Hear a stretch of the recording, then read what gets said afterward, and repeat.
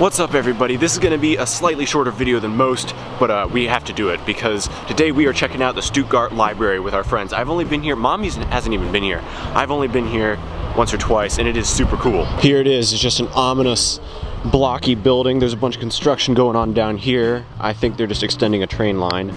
Um, and over here, we've got one of the two new malls here in Stuttgart. Malls are becoming super popular in Germany, and we just had two put up within the last six months. This is one of them, and it's pretty big. I haven't been in it yet, though. After a long week of really nice weather, Germany's catching up with us, and it is crap now, and we gotta get inside.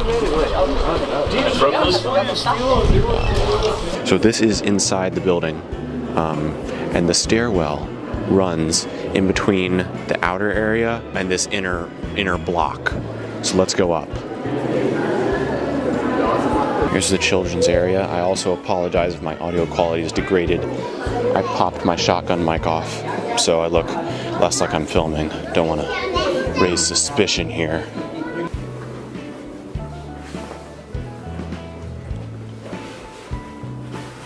What library do you know of where you can... Eh, there's Strasbourg. what library do you know of where you can rent board games? And puzzles. That's pretty cool. So as you can see, all this, all the stairwells are inside. Like they're sandwiched between the actual library and this part. Now, see that blue square? Remember that blue square.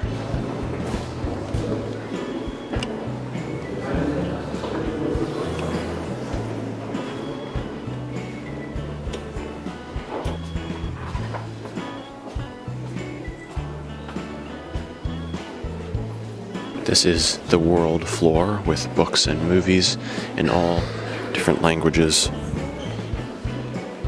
Here you can check out all your favorite magazines.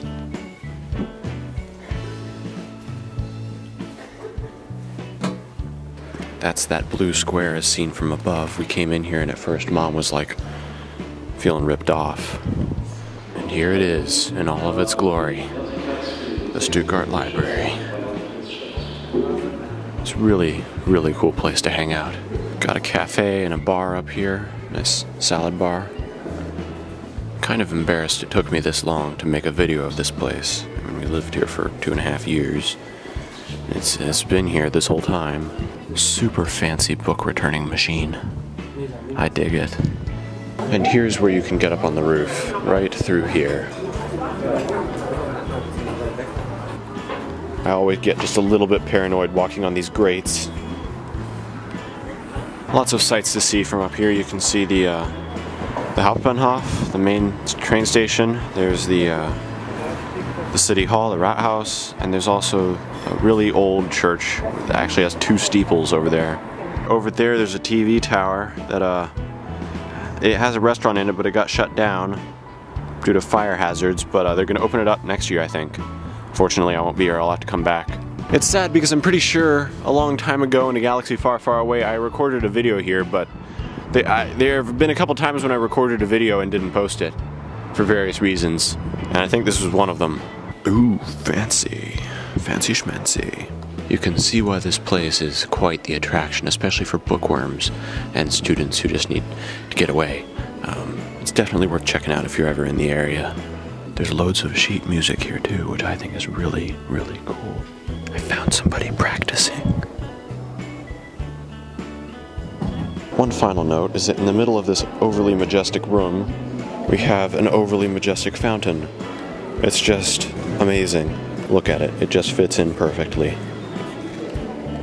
Well, I had to pack my stuff up and uh, there's water on my lens. I had to pack up my junk and avoid getting arrested, so sorry for the shorter video. I had to do the whole thing in secret, so this is a little covert episode of Life in Germany. Call it Life in Germany Special Ops. Well guys, thank you for watching. Hope you enjoyed the video, despite its shortness and secrecy. We have sought refuge from the storm in the new mall, so we're gonna check that out. But I'm gonna probably come down here and film a video just about malls at some point. So until then, Sam out.